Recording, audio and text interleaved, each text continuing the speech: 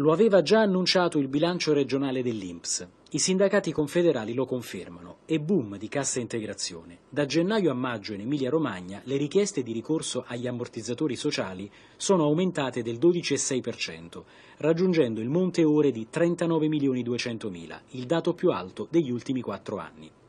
La provincia più colpita risulta Modena e la spiegazione, oltre che nella crisi economica, è da ricercare anche negli effetti delle calamità naturali, dal terremoto all'alluvione alle più recenti trombe d'aria. Va male anche nel Ferrarese, la provincia più povera secondo le statistiche, che ha visto raddoppiare le richieste di cassa. Va un po' meglio per Bologna, dove frenano le richieste. Qui però, spiegano gli osservatori, purtroppo sono aumentati i licenziamenti e con essi la percentuale di disoccupati.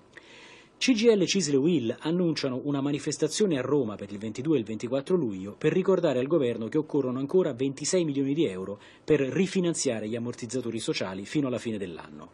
C'è il rischio che le nuove limitazioni ai sussidi, attualmente all'esame dell'esecutivo, lasciano 32.000 lavoratori senza alcun sostegno al reddito e questo potrebbe spingere le aziende a licenziare senza passare prima per la richiesta di cassa integrazione.